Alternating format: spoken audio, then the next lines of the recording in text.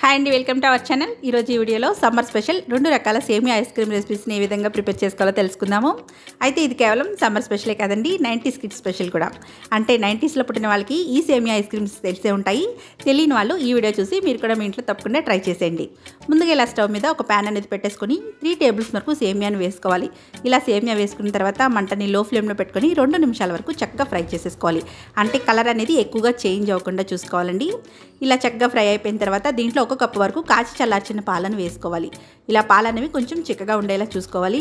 అలాగే దీంట్లో పావు కప్పు వరకు నీళ్ళను కూడా వేసుకోవాలి. ఇలా వీటంతటిని కూడా చక్కగా మిక్స్ చేసుకుంటూ మంటను మీడియం ఫ్లేమ్లో పెట్టుకొని మూడు నిమిషాల వరకు ఇలా కుక్ చేసుకోవాలి.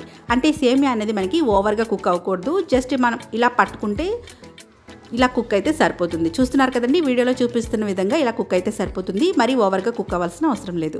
ఇప్పుడు స్టవ్ అనేది ఆఫ్ చేసుకొని దీన్ని బాగా చల్లారిపోనివ్వాలి. ఇలా చల్లారిపోయిన తర్వాత దీంట్లో నేను మూడు టేబుల్ స్పూన్ వరకు తేనెను వేస్తున్నాను. మీకు తేనె అనేది ఇష్టం లేదనుకోండి చక్కగా పంచదారని త్రీ టేబుల్ స్పూన్ వరకు యాడ్ చేసేసుకొని చక్కగా మిక్స్ చేసేసుకోండి. అలాగే దీంట్లో పావు టీ స్పూన్ వరకు వెనిలా ఎసెన్స్ కానీ లేదంటే ఇలాచీ పౌడర్ని కానీ వేసుకొని బాగా మిక్స్ చేసేసుకోవాలి. ఇలా మిక్స్ చేసుకున్న సేమియాని మనం ఇంట్లో ఉండే ఏ స్టీల్ గ్లాస్లో అయినా సరే వేసుకోవచ్చండి. లేదంటే ఇలా ఐస్ క్రీమ్ మౌల్స్లో కూడా వేసేసుకోవచ్చు.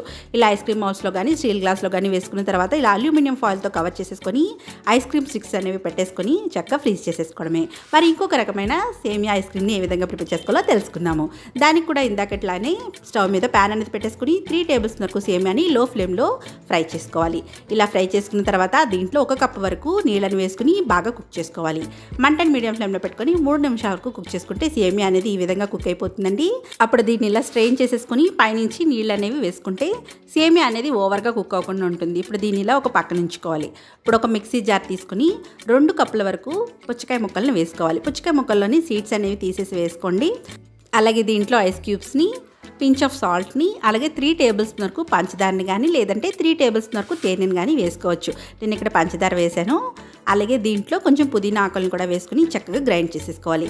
ఇలా గ్రైండ్ చేసుకున్న తర్వాత దీన్ని ఇలా వడకట్టేసుకుంటే మనకి దీంట్లో ఏమైనా సీడ్స్ అనేవి ఇంకా ఏమైనా ఉంటే పోతాయండి. అలాగే ఇలా రెడీ చేసుకున్న దాంట్లో ముందుగా ఉడకబెట్టుకున్న సేమియాని అలాగే పుచ్చకాయ మొక్కల్ని చిన్న చిన్న పీసెస్గా కట్ చేసుకుని వేసేసుకోవాలి. ఇలా పుచ్చకాయ మొక్కలు వేయడం ద్వారా మనకి కలర్ అనేది మంచిగా వస్తుంది. దాన్ని కూడా ఇదే విధంగా అల్యూమినియం ఫాయిల్తో కవర్ చేసేసుకొని స్టిక్స్ అనేవి పెట్టేసుకొని ఓవర్ నైట్ మనం ఫ్రీజ్ చేసుకుంటే సరిపోతుందండి. ఓవర్ నైట్ లేదంటే ఏడు నుంచి ఎనిమిది గంటల వరకు ఫ్రీజ్ చేసుకుంటే మనకి ఇలా సేమియా ఐస్ క్రీమ్స్ అనేవి రెడీ అయిపోతాయి. చూసారు కదండి? చూస్తుంటే నేను నోరు కదా? మరి మీరు కూడా మీ ఇంట్లో ఇలా సేమియా ఐస్ క్రీమ్ని అలాగే వాటర్ మిల్లన్తో కూడా ఒకసారి ట్రై చేసి చూడండి. చాలా బాగుంటాయి. మరి మీకు కనుక ఈ రెండు రకాల ఐస్ క్రీమ్ రెసిపీస్ నచ్చితే మరి తప్పకుండా లైక్ చేయండి. మీ ఫ్రెండ్స్తో షేర్ చేయండి. అలాగే నా ఛానల్ని సబ్స్క్రైబ్ చేయండి. Thanks for watching.